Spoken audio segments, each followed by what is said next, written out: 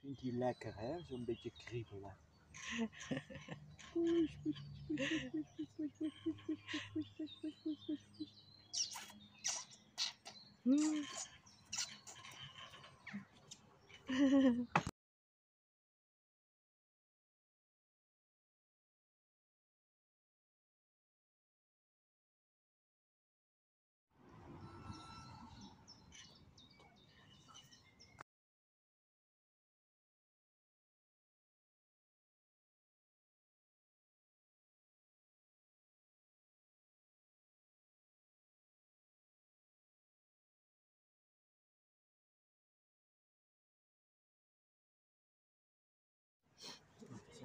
Just